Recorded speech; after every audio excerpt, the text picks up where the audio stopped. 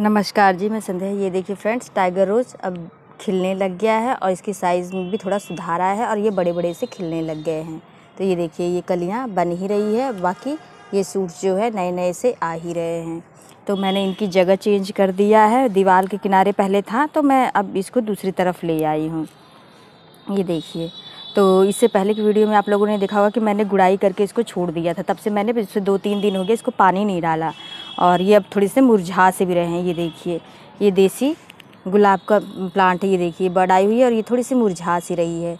तो मैंने इसे पानी नहीं डाला। अब मैं पहले इसमें फर्टिलाइज़र दूँगी, फिर इसके बाद इसे मैं पानी डालूँगी। तो क्या फर्टिलाइज़र दूँगी? मैं आप लोगों से वो आज शेयर करूँगी। तो ये देखिए कभी कभी मैं आप लोगों से कहती हूँ कि अगर आपके पास कोई और फर्टिलाइज़र ना हो, जैसे बर्मी कंपोस्ट वगैरह या कुछ भी तो गोबर की खाद अगर इजीली मिल जाती तो गोबर की खाद भी आप डाल सकते हैं।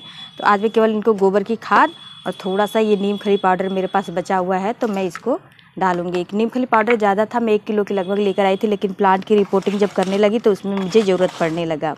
तो उसमें मेरा ज़्यादा यूज़ हो गया और ख़त्म भी हो गया। थोड़ा सा बचा था तो अब मैं इस फर्टिलाइज़र में मिक्स करके दे रही हूँ। अगर आप लोग के पास नीम खली ना हो तो आप उसमें थोड़ा सा वुडेस लकड़ी की राख, एक मुट्ठी मतलब हर गमले में एक या आधा मुट्ठी लकड़ी की राख आप ऐड कर सकते हैं। कहने का मतलब गोबर की खाद के साथ लकड़ी की राख भी मिक्स कर सकते हैं। ये ये एक अच्छा फंजीसाइड का भी काम करता है और मतलब एक अच्छा खाद के रूप में भी काम करता है। तो ये देखिए, ये गोबर की खाद है और इसके साथ मैंने थोड़ा सा नीम खली पाउडर मिक्स कर लिया है अच्छे से इसको। ये देखिए, अब मैं सभी गमलों में दूँगी। देखिए, मिट्टी कितनी ड्राई हो गई है इसकी। ये देखिए, कितनी ड्राई हो गई इसकी मिट्टी ये। ये। तो इसको क्या करूँगी मैं कि इसकी गुड़ाई तो मैंने किया ही है, अभी ऊपर में ही रख दूँगी मैं। क्योंकि क्या होता है कि सर्दियों के मौसम में कोई पाइप से तो ऐसे पानी डालता नहीं है। मैं तो नहीं डालती हूँ, ना गर्मियों में डालती हूँ, ना मैं सर्दियों में डालती हूँ। मैं मग्गे से ही धीरे धीरे थोड़ा थोड़ा करके पानी डालती हूँ। तो इसको ऊपर ही रख दे रही हूँ मैं और जैसे जैसे पानी पड़ेगा वैसे वैसे जो है इसका जो लिक्विड पदार्थ है वो नीचे इसकी जड़ों तक जाते रहेगा। और ऐसे इस तरीके से क्या है कि मल्चिंग का काम भी हो जाएगा क्योंकि अब आने वाला टाइम जो है काफ़ी घने कोहरे का मतलब का वो है। टाइम आ रहा है तो इस तरीके से हम इसको मल्च भी कर सकते हैं, इसकी जड़ों को। तो ये देखिए, अब मैं धीरे धीरे सभी गमलों में इस तरीके से डाल दूँगी। ये देखिए, ऐसे। ये। इसमें भी डाल दूँगी मैं थोड़ा। ये थोड़े मुरझा से रहे हैं और फिर पानी थोड़ा ऊपर से डलते जाएगा। जैसे धीरे धीरे पानी डलेगा, वैसे इसके जो लिक्विड है, वो इसकी जड़ों तक जाते जाएगा। ये देखिए, इस तरीके से। तो भाई इसमें पानी डाल के दिखाती हूँ आप लोगों को। तो अब फ्रेंड इसमें हम वाटरिंग कर देंगे। तो पानी हम उतना ही डालेंगे कि जितना इसके गमले में ही पानी रह जाए, मिट्टी में ही रह जाए। मतलब वो इतना ना रहे कि ड्रेन ड्रेनेज होल से पानी ड्रेन आउट होके बाहर निकले। तो ये देखिए थोड़ा थोड़ा हम सब में डाल देंगे।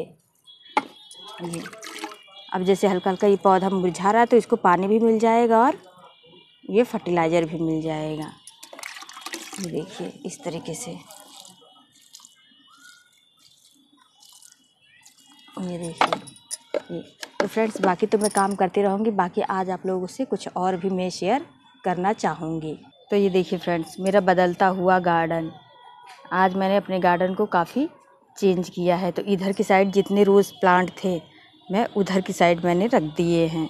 तो चलिए दिखाते हूँ मैं। यहाँ पे जैसे अब इसका डोरमेंसी टाइम हो रहा है तो इसको सेट के नीचे मैंने रख दिया, छज्जे के नीचे रख दिया है, कि ताकि इस पर पाले का असर ना हो।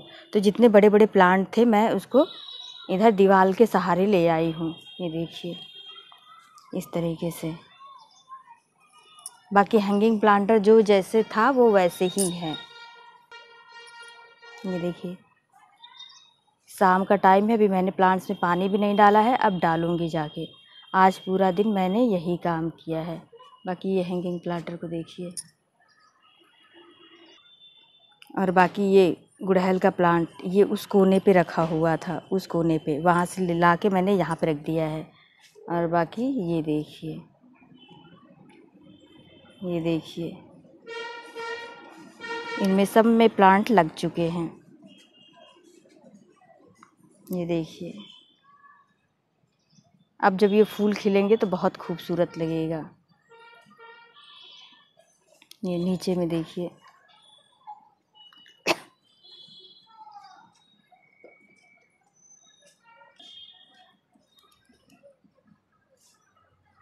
ये देखिए, सब में मैंने प्लांट्स लगा दिए हैं।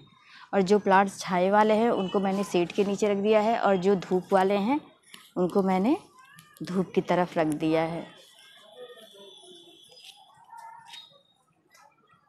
ये देखिए, कुछ जो बैकयार्ड मैंने रखे हुए थे, वो प्लांटर में ले आई हूँ और कुछ अभी लाने बाकी हैं तो उसको मैं कल लेकर आऊँगी।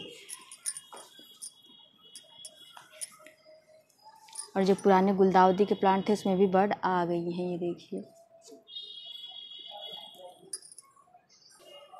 ये देखिए, सबको एक लाइन से मैंने लगा दिया है। इधर गुलाब के प्लांट हो गए। ये ये देखिए। अभी इनमें पानी, इधर टमाटर लगे हुए हैं। इसमें फूल भी आने लग गए। ये देखिए। ये इसमें फूल भी आने लग गए हैं। बाकी इधर गुल दावदी के कुछ मैंने कटिंग्स लगाए हुए थे, वो है। ये ये देखिए, गुल दावदी खिलने भी लगा। कितना खूबसूरत खिल रहा है ये। इधर पोलोथीन में मैंने लगाए थे। इधर देखिए, बल्ब मैंने लगाए हैं। बाकी ये प्लांट जो कटिंग से लगे हुए हैं। बाकी इसमें मैंने लहसुन लगा रखे हैं। और ये जो है डलिया ये सब सब्ज़ी के लिए तैयार कर रही हूँ। नीचे जो है पत्तियाँ वगैरह रखी हुई हैं डाल रखा है बेस पे बेस में मैंने बिछा रखी है और बाकी ऊपर में इस तरीके से मिट्टी। तो इसमें भी कुछ कुछ ग्रो कर दूँगी मैं।